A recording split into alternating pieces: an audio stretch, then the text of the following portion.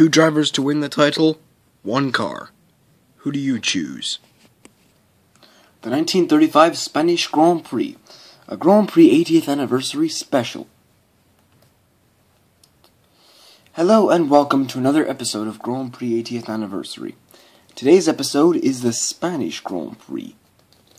So here we have on the left a computer generated image from the race. It's very vivid and specific.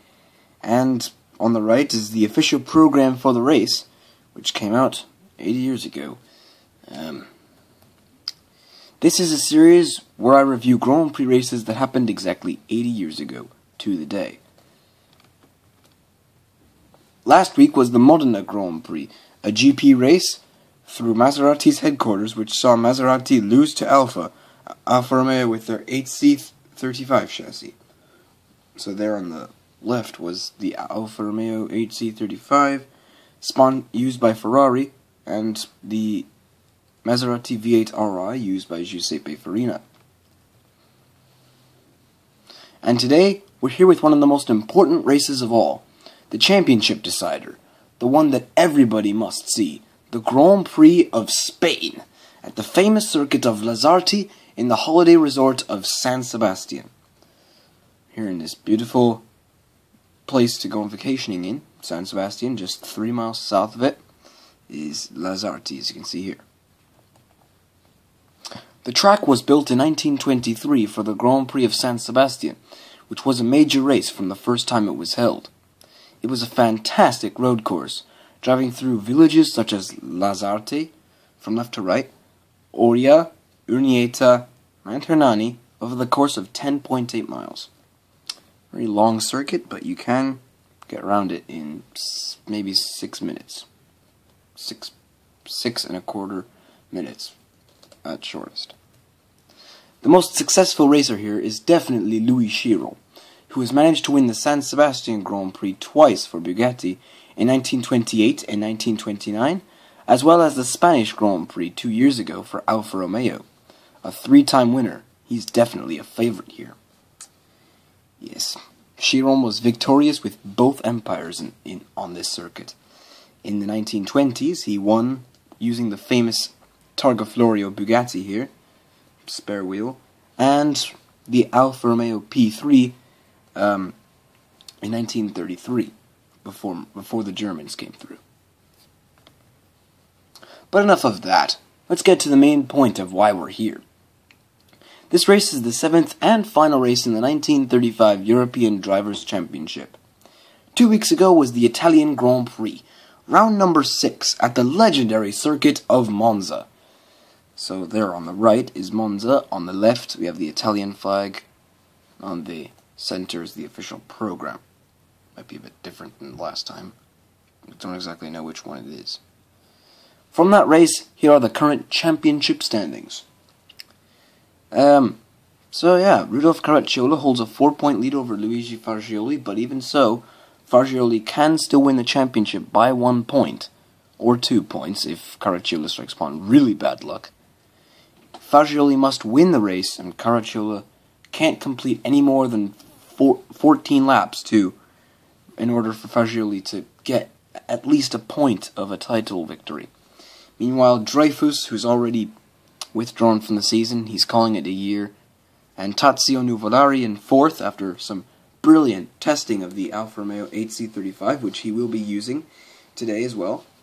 And Stuck at um, in fifth place. He was a fantastic driver. He came from 11th to 5th after winning the ra- winning the Italian Grand Prix. And Manfred von Brauchitsch has gone through lots of uh, tribulation uh, problems but he's managed to get through into sixth place without much difficulty. And then there is in seventh Goffredo Zehender, very well done for Maserati driver because Maserati aren't that good in these circumstances. And in eighth place, Raymond Sommer, remarkable performance for independent racing driver. He has he's he has not finished any higher than sixth this season, and He's among the top eight racing drivers. He's ahead of Achille Varzi and Bernd Rosemeyer. Very great honor.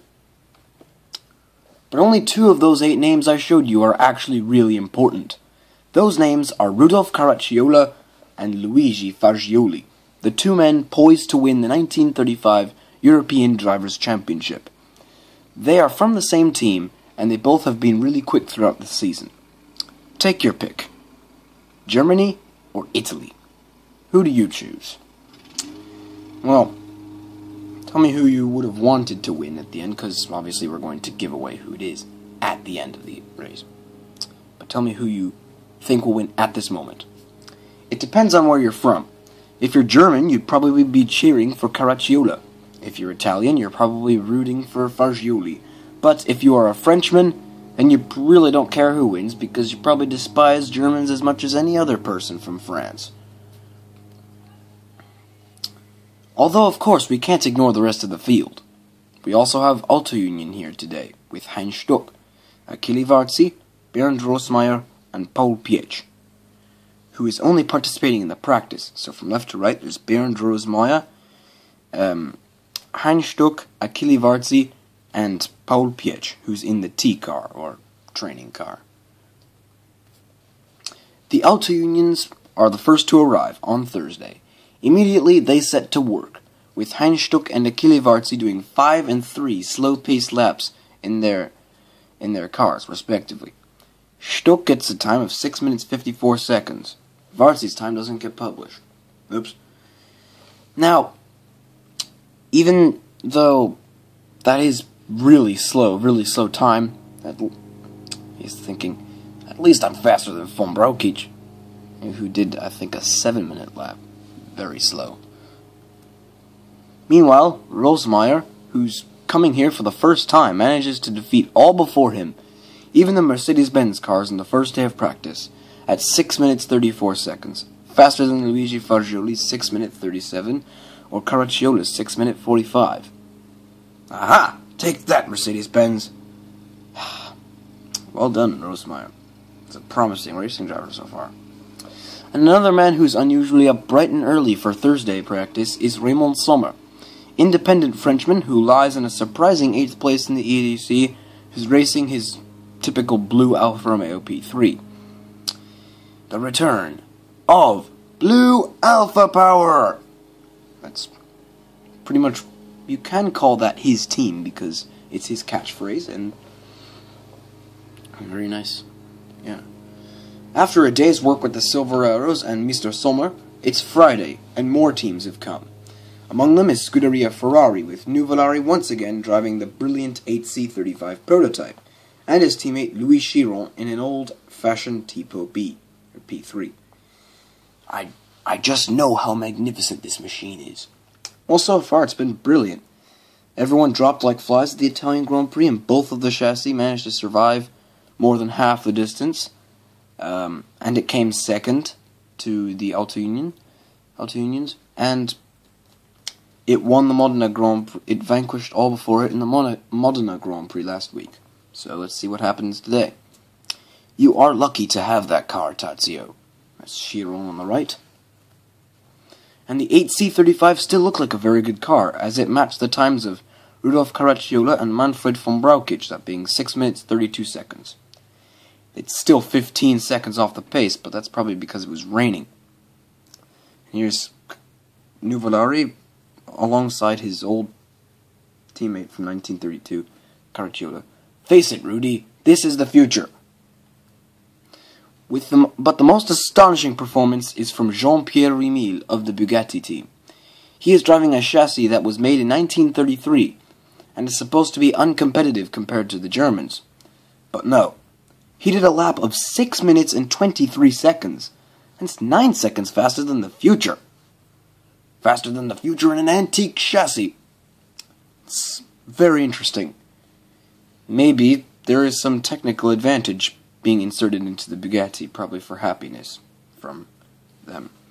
Um, even though that's still maybe 8 seconds off the pace.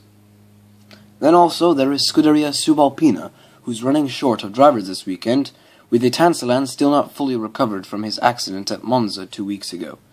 So they're relying on Eugenio Siena and Scuderia Villa Padierna driver Marcel Lehoux. It's the car I failed in at Montenero. And Marcel Lehoux has decided he's going to race for, for them at Brno next week as well. Now, the final day of practice. Just like yesterday, Achille Varzi is the unstoppable man again, setting fastest practice lap again of 6 minutes 8 seconds. Heinz Stuck does 6 minutes 23, and Nuvolari matches the time of Luigi Fagioli at 6 minutes 26 seconds. But only Varzi was actually was actually doing going as fast as he should be going. It's simple. I'm gonna win this. No, we're gonna win. That's Heinz Stuck. With and we're gonna win with me coming ahead of you. It may be your race, but my championship. That's what Luigi Fagioli says. Nuvolari says, I'm sorry, guys, this is the future, and the future always wins. As it might be shown by that argument that just happened, the race is completely unpredictable. Jean Pierre Remil was fast at one point. Varzi was fast through the weekend, which gives him an upper hand, but the Mercedes Benz cars are poised to win the EDC. It's extremely difficult to decide on difficult to decide on a verdict here. So let's just take it as it comes and see what happens. And now, at last, the starting order, which is set by the number of the cars. Which means. There we are! Bugatti on pole position with Jean Pierre Remil. That's amazing! Bugatti starting ahead. And all, the auto unions had were pretty high up the entry list. They got some of the lowest numbers. Jean Pierre Remil was number two, Rosemeyer was number four, Varzi was number six. Wait a minute. Hey, I came pretty close. And meanwhile, but in, internally, probably Varzi is thinking about Remil, thinking maybe I should go back. And in row two, Luigi Fagioli, who is starting ahead of Caracciola by far, is further proof that I'll win the EDC. Yes, and then we have Heinz Stuck in his auto union. Lucky Bernd, why don't I get number four? That's probably in reference to the fact that this is the second time he's missed the front row. And he he lost it to his teammates. Both of them. And in row three we have Remil's teammate Robert Benoist. Very lucky Bugatti team today. Say we're in luck today. Um, because Benoist starts in sixth, Remil starts in first. It's brilliant. And Eugenio Siena in the Subalpina Maserati and Tazio Nuvolari, who is racing the car from the future, Alfa Romeo 8C35. Objective number one get past these idiots. It's probably because they're an antique chassis, where, whereas this is from the future. But both of those cars he drove before. So, yeah. And row 4 we have, sort of, two cars. Paul Pietsch was supposed had number had had number 18, but he was not racing.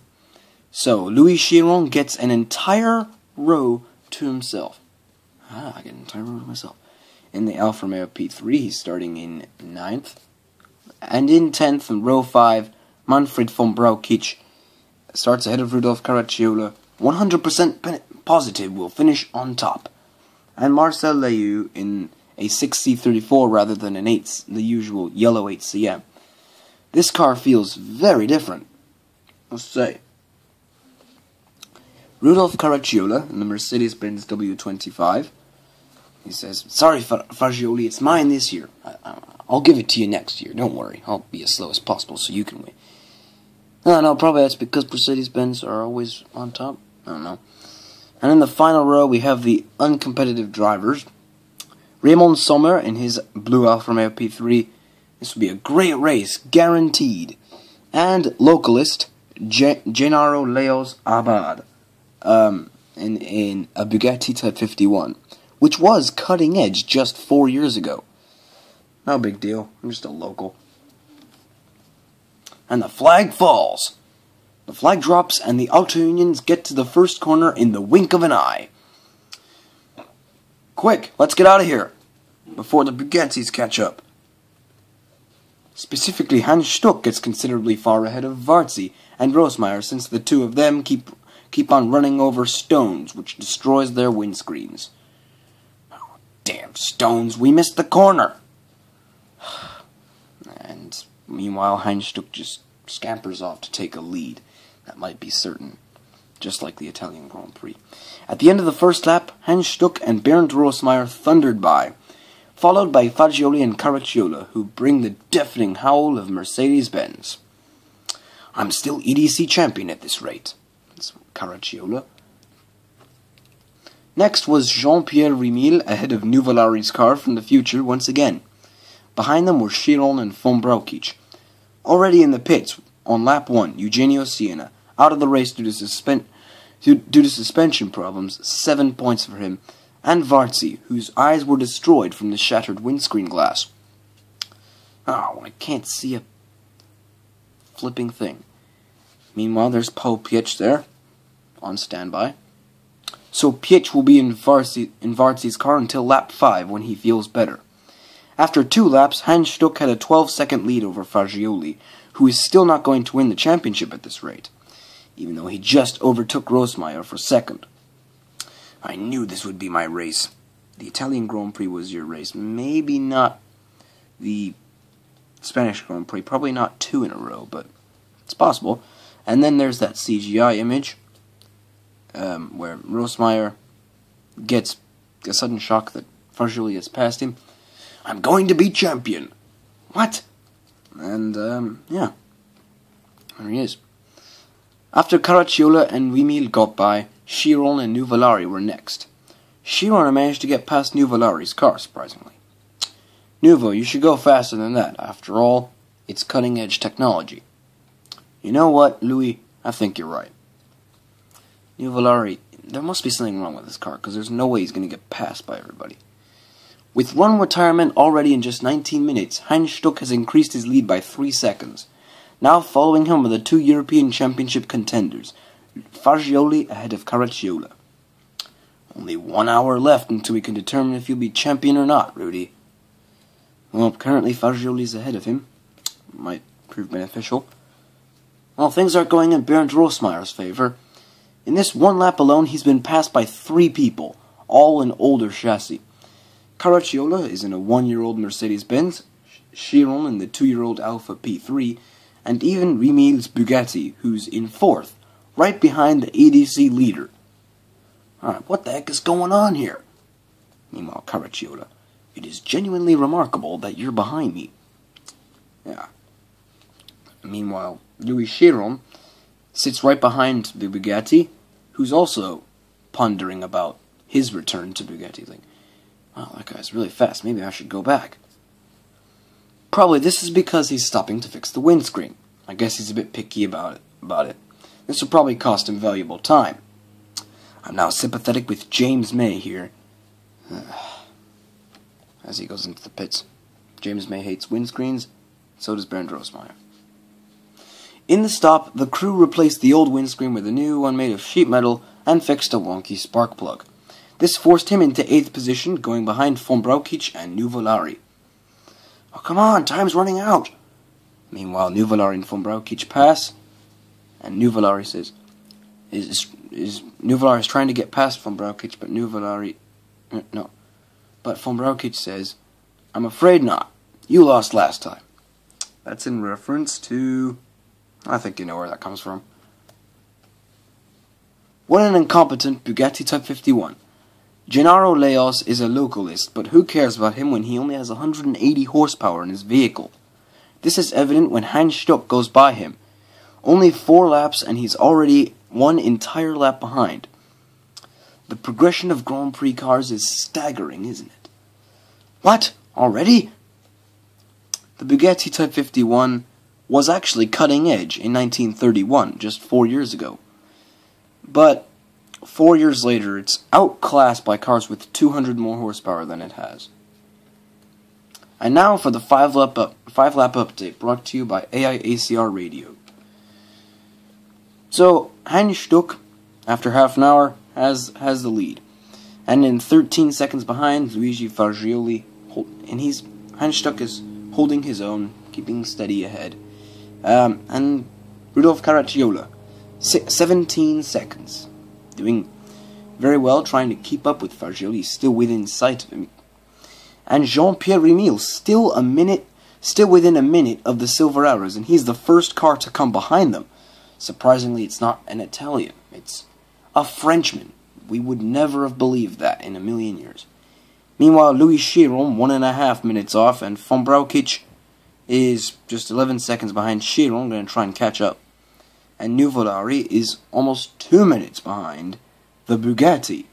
So this really makes absolutely no sense at all because the Type 59 was 14 laps behind last time, and Nuvolari was on the lead lap. It was a bit interesting. On lap, on lap 6, Hans Stuck was fast, but Fagioli was even quicker. 6 minutes 10 second lap compared to Stuck's 6 minute 11.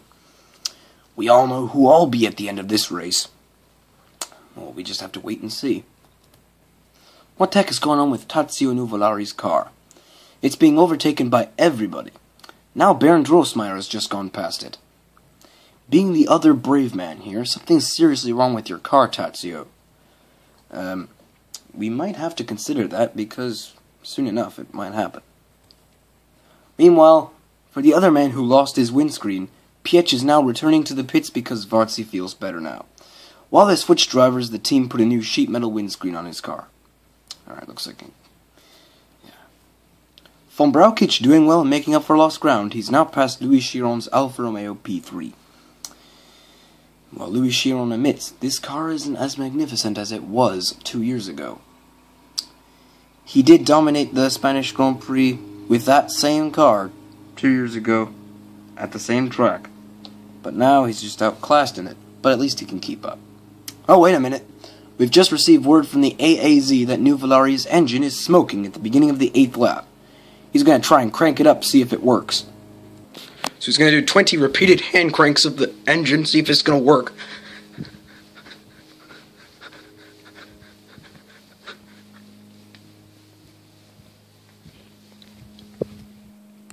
Um, nope. Well, there goes the other 8C prototype. Off it goes back to Torino. Six points for Nuvolari. He finishes fourth in the European Championship. And there's that quote. Proof that I was the moral victor. German Grand Prix. Okay, looks like Caracciola is coming to an alarming conclusion. A 6 minute 9.3 second lap puts him in front of Fagioli. Who knows, he might end up being European champion. The true champion shines past. Yes. However, Fagioli is still on his tail, almost as if he's a shadow. Meanwhile, one full lap behind, Achille Varzi is unbelievably fast, yet surprisingly smooth, as he always is. He just recorded the new fastest lap of 6 minutes 2 seconds, averaging 110 miles an hour. Never let go of the racing line, or go all crazy with the wheel. yes, he's he's known for his very smooth skill um, and great driving. Meanwhile, Heinz Stuck remains invincible in the lead, still away from the visibility visibility of the championship contenders, holding a 12-second lead. And now for the 10-lap update, brought to you by AIACR Radio. So Heinz Stuck remains in the lead, but Caracciola gained 5 seconds on him, Luigi Fagioli lost 5 seconds. So, yeah. Um, and Jean Jean Pierre Emile has now has now fell a minute behind, but he is ahead of von Brauchitsch, quite remarkable. He's managed to do that. And Louis Chiron is two minutes twenty seven seconds. Um, uh, yeah, he's he's right behind von Brauchitsch, but he really can't keep up. So no, there's no way he's gonna pass it. And but then there's Bernd Rosemeyer, who is three minutes behind, still still able to keep up, but not it's not going entirely well. Once again, Varzi's impeccable, Varzi's impeccable speed and great smoothness brings him to another fastest lap of the day, this time under 6 minutes. A simply perfect car. That's quite right, it is a great car, but they'll have to replace it at the, at the end of the year. And we're coming to the end of the year very soon. For the past hour or so, Heinz Stuck has maintained a good lead over the pack but now it's beginning to shrink. Something in the engine might be a little less up to date as the rest of it. Now get out of here. This car's fine. Well, who knows? Let's see the next slide. But he's still in the lead after 12 laps. However, one lap later, his car gives in. The clutch refused to disengage from a certain gear, so it's gone. Stuck rece- Stuck receives six points, and that's his championship there, finishing sixth overall. I guess you're right. This thing is so stiff it won't move. Yeah. Hmm. This gives Rudolf Caracciola the lead in the race, and an increasingly more likely first place in the EDC. We've only got until lap 15 to determine if he's our European Championship winner or not. Just forget it, my car's working seamlessly, there's no way I'll lose. Well, it all depends on what happens. And even though Auto Union tried to fix Heinz Stuck's car by doing a non-push start procedure, he came back six minutes later with the clutch refusing to go anywhere. So he's officially not coming back. So now it's your typical 1935 season race, with Caracciola in first and Fagioli in second, but Jean-Pierre Rémil has brought his Bugatti to a position that was easy for them in 1933, but hard for them now. That place is the podium. Ah, Ettore Bugatti just, or Bartolomeo Costantini just going off in the distance. I miss the days, the days when we were kings. It's unfortunate that they aren't anymore. Clearly, Bugatti still have some speed left in them. Meanwhile, after some really fast and smooth laps, Varzi has come in, quite apparently because the gears are falling off. I'm stationary and it's in fourth gear. Something's wrong with it. I can try and fix it for you. It's Paul Pietsch. While he's being refueled, he's going to try and fix it. Pietsch eventually managed to get the car going by getting the clutch to go, or brake, and use it in fourth gear for the rest of the time.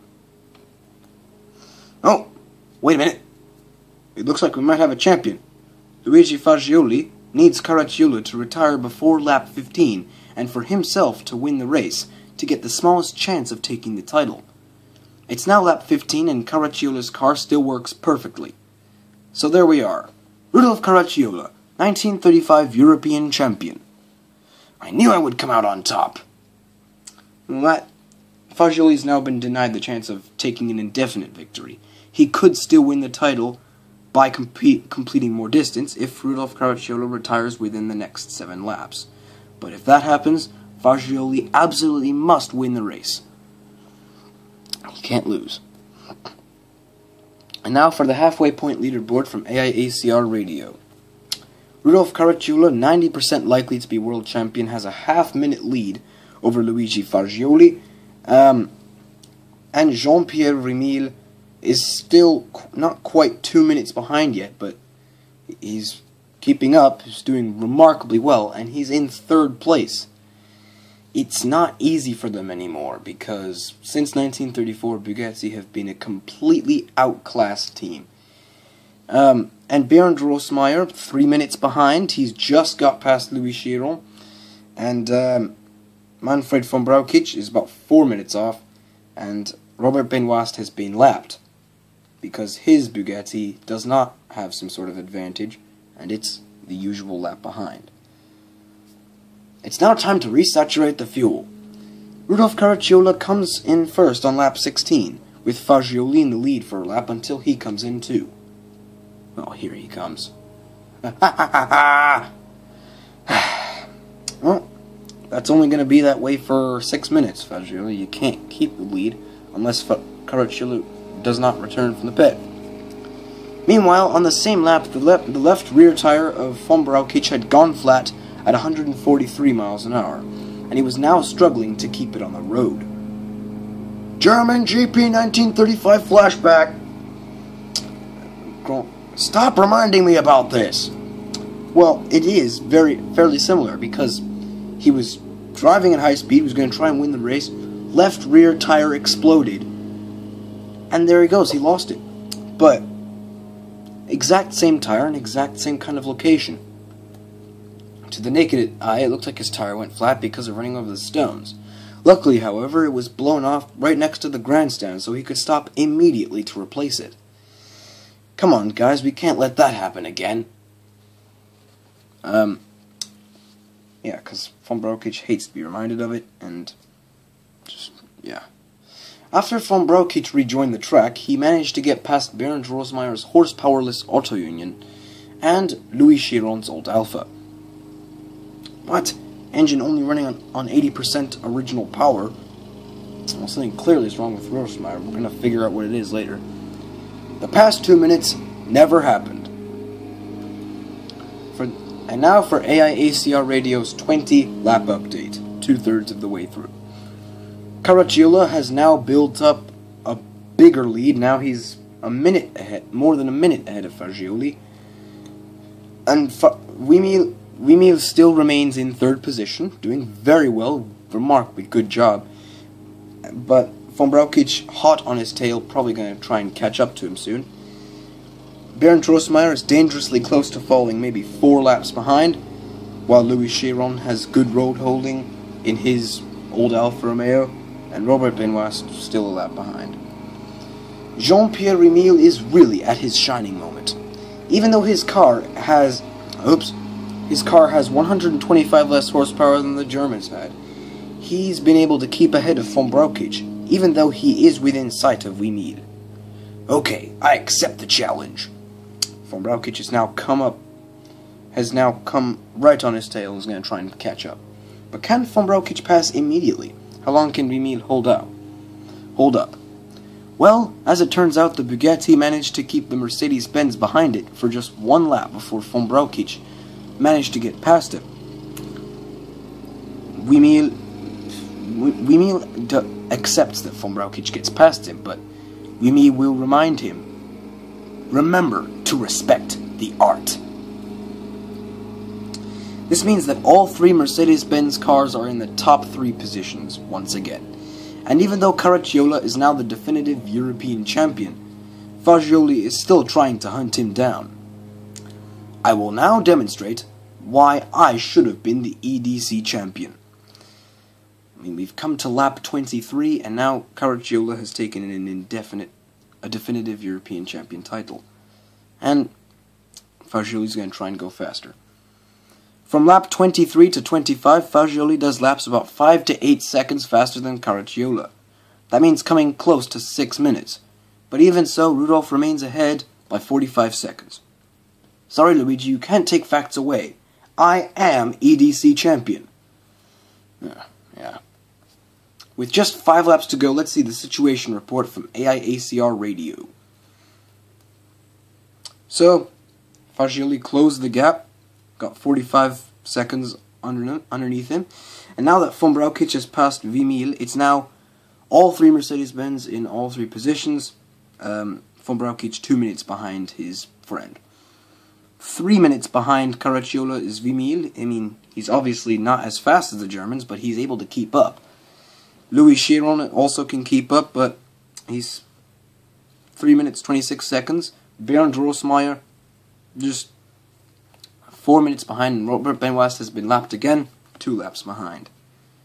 Paul Pietsch, driving Achille Varzi's car, now comes to the pits with a similar problem to that of Hans Stuck. The transmission stopped working at the Andoain village. So that's... Right. Sorry about that. Um, that was because of the automated record limit. Um, that just stopped me at random. I'm to have to finish it now. Anyway, we continue on from where we left. Paul Pietsch, driving Achille Varzi's car, comes to the pits with a similar problem to that of Heinz Stuck.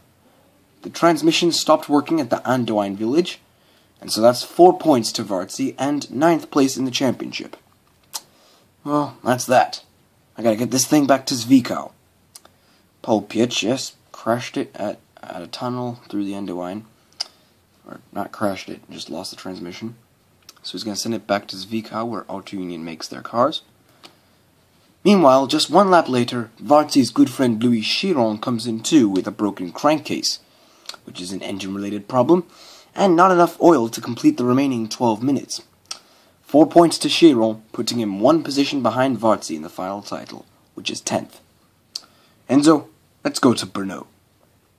So yes, that means both for both Ferrari drivers are off, are, are out of the race, and they're off to Brno. Meanwhile, Jean-Pierre Remille passes by, it says, Louis, you should come back to Bugatti. And maybe, just at this rate, Louis might Louis might just consider that. After Chiron was out, Rosemeyer took fifth place, but his Auto Union had a leaking head gasket, which meant that his engine couldn't cool, and that meant that he couldn't go as fast as he wanted to. Come on, let this day end. Eh, it's going okay. I mean, Rosemeyer was one of those people who could keep on the lead lap, but since he can't go as fast as he wants to anymore, he might be lapped by them. Uh. And on the last lap, Marcel Lehoux and Genaro Leoz were 5 and 9 laps down, respectively. And since they were extremely slow compared to Mercedes-Benz, they stopped racing and pulled into, the, into their pits, returning home. It's a mechanical problem. That's Lehoux, who is um, in the Scuderia Subalpina pits, and he's trying to find an excuse for just not for not not trying to find a lame excuse, saying it's a mechanical problem. And meanwhile, Genaro Leoz says, "Oh, I'm returning home. I'm going home." And it looks like he's already made his way through the car park. He probably knows this place really well. He, after all, he's a localist who's watched the Spanish Grand Prix. Raymond Sommer's doing fine. He's not really doing it so bad. And so, at the end of 3 hours, 9 minutes, and 59.4 seconds, Rudolf Caracciola comes to the finish line to win both the race and the 1935 AIACR European Drivers' Championship. yes, it's the best day of my life! So yeah, Rudolf Caracciola takes the title, and and we will explain why it is the best day of his life. And coming in, coming after him is the remaining Daimler-Benz army, bringing us to a 1-2-3 finish for them, with former championship contender Fagioli following Karac 43 seconds behind. Von Brauchitsch perseveres after all the trials and tribulation to come third for them, in both the race and the championship. A Merc bends 1-2-3 in the race and the championship, what a team. So yeah, the von Brauchitsch managed to finish third, and with that extra advantage, being being able to finish ahead of Wimille, he finished. Um, he managed to get third place, remarkable because, and also maybe a good reason for why they came in the top three in the championship is because they're the only ones who participated in every single race. Everyone else missed at least one race. In fourth place, the first car to come behind the mighty German cars is, remarkably, not an Alfa Romeo or a Maserati, it was a Bugatti. Monumental drive for Jean-Pierre Wimille, who lapped as fast as von Brauchitsch did, has successfully proven that Bugatti are still very much with us, not some blue car stuck in 1933. Ettore Bugatti is, has been was an artistic man. Brought the Bugatti Type 35, 51, and 59 and Type 54. Brilliant racing cars, always known to be brilliant, and Jean-Pierre Wimille has has proved the potential of the Type 59 with a great drive for them in Spanish Grand Prix. The art of motor racing will remain with us forever. Bugatti are still with us. They are not out of the out of the game yet.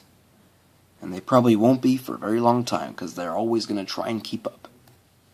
And in fifth, Bernd Rosemeyer managed to salvage his auto union to a lead lap finish, putting him seventh in the championship. A brilliant performance for a person who's only been racing automobiles for four months. This is promising for the 1936 season. Well, we shall see how that turns out, Mr. Rosemeyer. And now, we must show why Rudolf Caracciola deserved to win the European Drivers' Championship. Yep, once again we're going to put on some special music for this scene, but it started back at Monte Carlo in 1933. Caracciola and his friend Louis Chiron entered two Alfa Romeo Monzas under the name Scuderia CC. They had a well thought out plan for the season, every major race, every corner of motor racing, driving many different cars.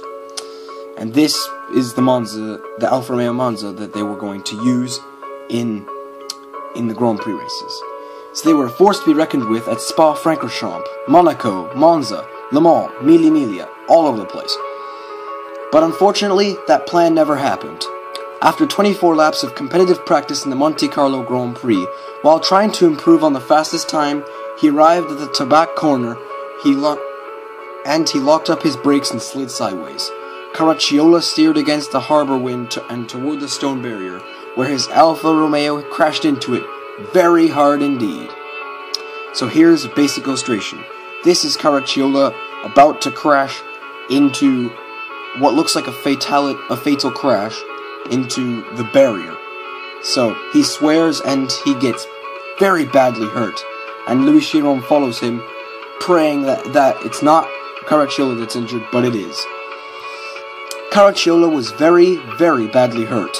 Chiron rushed immediately to help him as he collapsed out of his destroyed Monza. It was then that Caracciola realized that he fractured his thigh and had bad facial injuries. Rudolph was rushed to hospital, where he was diagnosed with an operation on his hip, which would keep him off the Grand Prix circuit for the rest of the year. And when he was better at the end of 1933, things got even worse. His wife, Charlotte, was skiing in the Swiss Alps in 1934 when an avalanche fell upon her, killing Charlotte. These devastating accidents had put Caracciola in serious consideration of never, never going to Grand Prix racing ever again. But something told him in his mind to just persevere with what he, what he does. After all, he is under contract with Mercedes-Benz, a leading GP team. And this year was the hell of a reward for a man who had such terrible bad luck in past years. This year he has won six races, including the Tripoli Grand Prix, four of the seven Grand Prix races, or championship races, and a victory at his beloved Nürburgring. So this is painting of him after winning the Tripoli Grand Prix, but I guess we can say it's the Spanish Grand Prix. Truly, the greatest day of my entire life. Caracciola is blessed to be in such an amazing position. And now we must crown him. Rudolf Caracciola, 1935 AIACR European Drivers' Champion. Winner of the return of the AIACR Championship. Let's see if he will defend his honor for, for the 1936 season. Let's see how this works.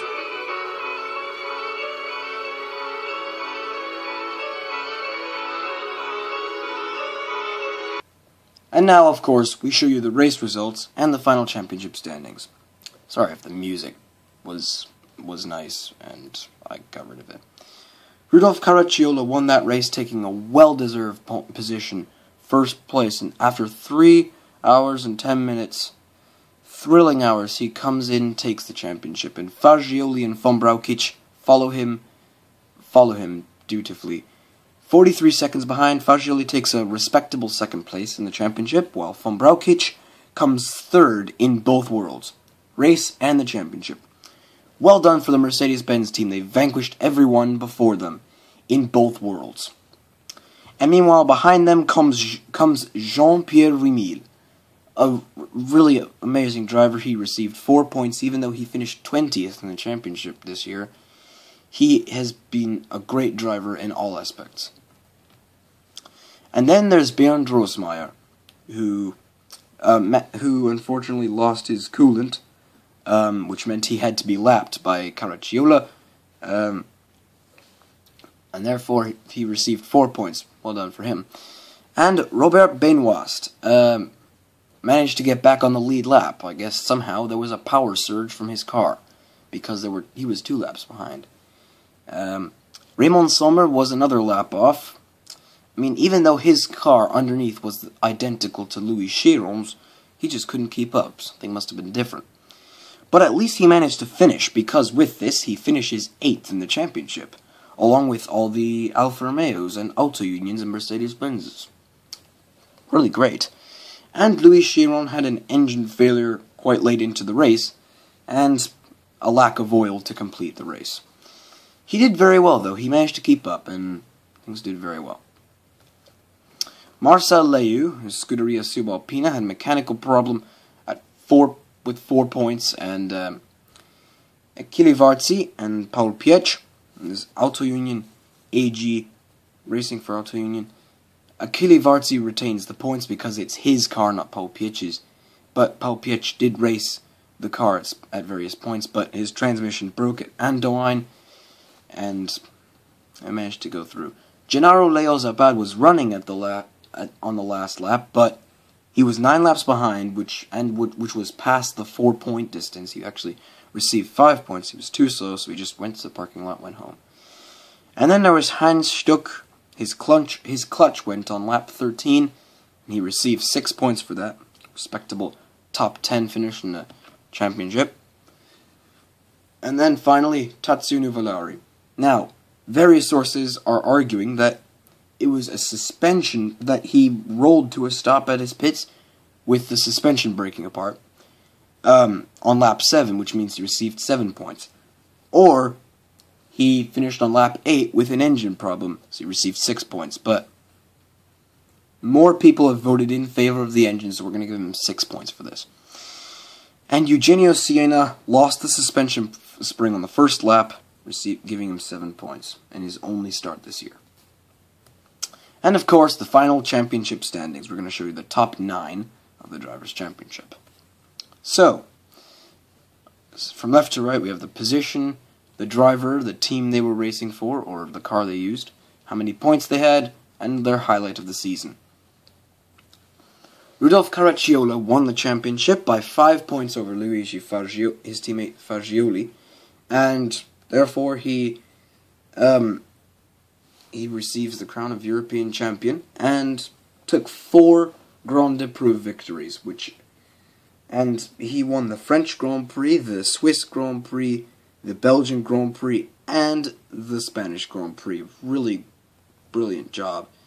And Luigi Fagioli, the Mercedes, did respect, and Manfred von Brauchitsch. Mercedes Benz were the only team to participate in all seven Grand Prix races, um, which meant that von Brauchitsch had the advantage, even though he was he struck upon bad luck four out of the seven times. Um, he managed to, act, to, to finish third because of his commitment and consistency. He came second at Montlhéry. Uh, oh, yeah. Luigi Fagioli, Fagioli won at Monte Carlo, taking a brilliant victory over the Italians. Von Brauchitsch came second to Caracciola at Montlhéry, was quite literally behind him. And then behind Behind them are the Ferrari drivers of Tazio Nuvolari and Rene Dreyfus. We cannot deny the fact that Nuvolari's highlight of the year was his amazing victory at the German Grand Prix.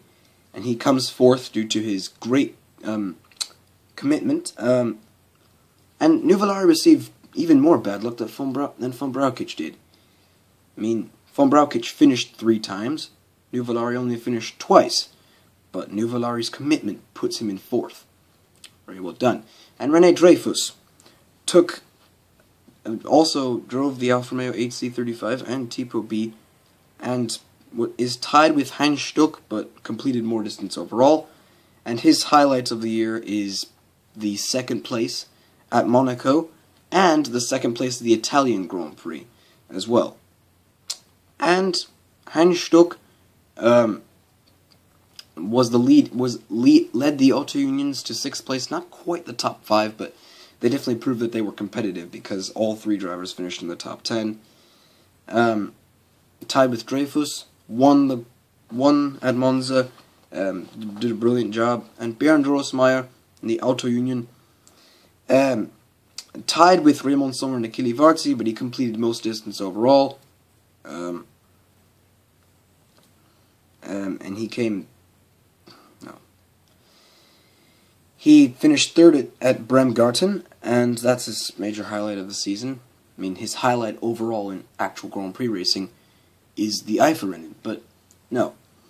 And then was there was Raymond Sommer, um, remarkable drive for this privateer driver who who races blue-colored Maseratis and Alfa Romeos, and he, he shows that commitment is always important. Important. You don't have to be fast. You need to be committed to your job. He didn't finish any higher than sixth this season, and he's come eighth. Um, he finished the race four times at Monte Carlo, France, Switzerland, and Spain. And Achille Varzi finished ninth. He had four uh, 75% distance finishes. He finished the race three times, but the the Spanish Grand Prix um, is classified as a finish because he completed 75% distance. And Louis Chiron, who only missed one race out of all the races that happened, um, managed to come third at, at Spa, despite collapsing at the end of it, and being able to keep himself in the top 10 was a, to show that he's still consistent uh, in the arrival of the, of the Germans. And finally, the season's highlights. There were seven Grand Prix races this year, more than any other year before. The first race was the Monte Carlo Grand Prix, Fagioli in command ahead of the Italian onslaught. So, yeah, here is this really beautiful painting by Carlo Demand of Fagioli leading Dreyfus through the through the final corner and and the buildings too. They're they're really specific and very well detailed. And on the left, there is the official pro, the legendary official program for it. Cause, and I actually have one of them. Um, yeah, I'm lucky to be, to have that. And race number two is the French Grand Prix, a fantastic duel between Caracciola and Fagioli, which ends with Fagioli going three laps behind. Here's another Carlo Demand painting. Um, and it was where Caracciola and Fagioli fought for the position of being in first, and and there's the French flag. Uh, in race number three, there's the Belgian Grand Prix where Rene Dreyfus vomits from inhaling special fuel, and a feud between Neubauer and Fagioli. That's a very hilarious. And so on the left is a, is um, raw footage of what happened. So there's Dreyfus stranded on the track after vomiting fuel, and Attilio Marinoni is going to take over his car and lift Dreyfus to safety. Meanwhile, von Brauchitsch is sunbathing after retiring from the race, and Fagioli and Neubauer are getting to a quite loud discussion. And then Fagioli says, That's it, I'm not going into the car anymore. And Neubauer is angry, calls von Brauchitsch down. And of course, there's the German Grand Prix where Nuvolari defeats nine superior German cars on their home turf with a car that had 100 less bhp. So there was the Alfa Romeo Tipo B, the Sorry about that. So there is the Alfa Romeo P3 that Nuvolari used. It had number 12. It it went through so many occasions. There here's like a couple of paintings of him just trying to catch up or getting past Germans who struggle, or, and of course, these two paintings which indicate when von Brauchitsch lost his left rear tire, and, and, and Nuvolari could surge past and take victory. And race number five, the Swiss Grand Prix, where Rudolf Caracciola's Regenmeister or Rainmaster talent shines through. The rain is his favorite, and he can pretty much go go just as fast, if not faster, than non-rain pace in the rain. Um, which is what probably explains why he gets a four second lead after maybe half half a lap. Um, yeah. And there was race number six. There was the Italian Grand Prix, a brilliant victory for Heinz Stuck and Auto Union, and a successful test of the Alfa 8C35 prototype. So there, here we have Monza, a newly reconstructed version of it, passing by the parabolica curve going into the oval, and Heinz Stuck taking well-deserved victory, and Alfa Romeo testing what might be the most brilliant car ever made. Um, and the Italian flag. And the final race, of course, this one, the Spanish Grand Prix, Rudolf Carat, where Rudolf Caracciola is given a well-deserved title of 1935 European Drivers' Champion. So here, once again, is his quote from earlier on. It has it has really been an amazing championship this year, and hopefully it will be that way for next year. After listening to the Nazi and Italian anthems for the drivers on the podium, that's it for the 1935 championship. We return next April for the Grand Prix of Monaco, 1936. So, we have uh, on the left, that was the official program for it, and the circuit itself, and the, the, le the legendary circuit itself, and the beautiful south of France um, harbor that Monaco's at. It's lovely. The championship may be over, but, however, the major Grand Prix racing is not done yet. Tune in next week for the Masaryk Grand Prix in Brno, Czechoslovakia. Jumping back into 2015, thank you very much for watching this video. Hope you enjoyed it. If you did, click the like button or the subscribe button, or leave a comment. And I'll see you next week for the Season 1 finale at Brno. Jeez, 54 minutes.